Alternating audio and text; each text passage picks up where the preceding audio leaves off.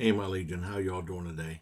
I'm here today to review a short film that my good friend uh, Laura Aquinaga, who I met on a couple live chats with uh, Christina Bad Girls Ball did back in 2014. It's called Short Steps. And basically, this is a movie about how people deal with loss in their own ways. Because she actually uh, dealt with loss. Uh, something happened, she dealt with loss. And then with me, back in uh,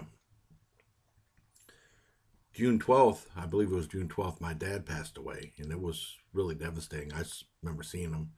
And um, this is really a well done movie. It's well, a movie. It's a short film. It was at. Uh, she said it was at the Soho uh, Film Festival. And she has a video for that too on our channel.